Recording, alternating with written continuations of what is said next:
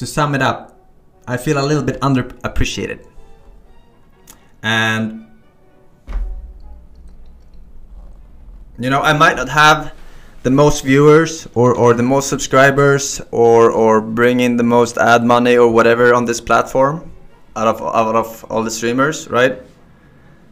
But I do have like like an aura effect on on this platform. I don't know, or I wasn't aura was maybe the best word. Uh, what I'm trying to say is that nine out of ten good fucking inside joke or, or memes slash inside jokes comes from this community and it spreads to other communities. So other communities have more fun right? And then those viewers stay on twitch longer.